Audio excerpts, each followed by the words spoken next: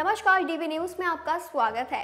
भारतीय कुश्ती महासंघ को लेकर जारी विवाद फ़िलहाल थमता नज़र नहीं आ रहा है। अब निलंबित हो चुके महासंघ के अध्यक्ष संजय सिंह ने साफ़ कर दिया है कि वह केंद्र सरकार की तरफ़ से गठित समिति और निलंबन को नहीं मानते हैं।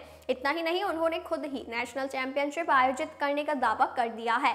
खबर है कि इसे लेकर बैठकों का दौर शुरू होने जा रहा है। सिंह ने कहा है कि हमारा चुनाव लोकतांत्रिक ढंग से हुआ है। निर्वाचन अधिकारी ने कागजों पर दस्तखत किए, जैसे कैसे अनदेखा कर सकते हैं? हम इस तदर्भ समिति को नहीं मानते। वहीं सिंह डब्ल्यू के पूर्व अध्यक्ष और विवादों में घिरे सांसद ब्रजभूषण शरण सिंह के काफ़ी करीबी माने जाते हैं।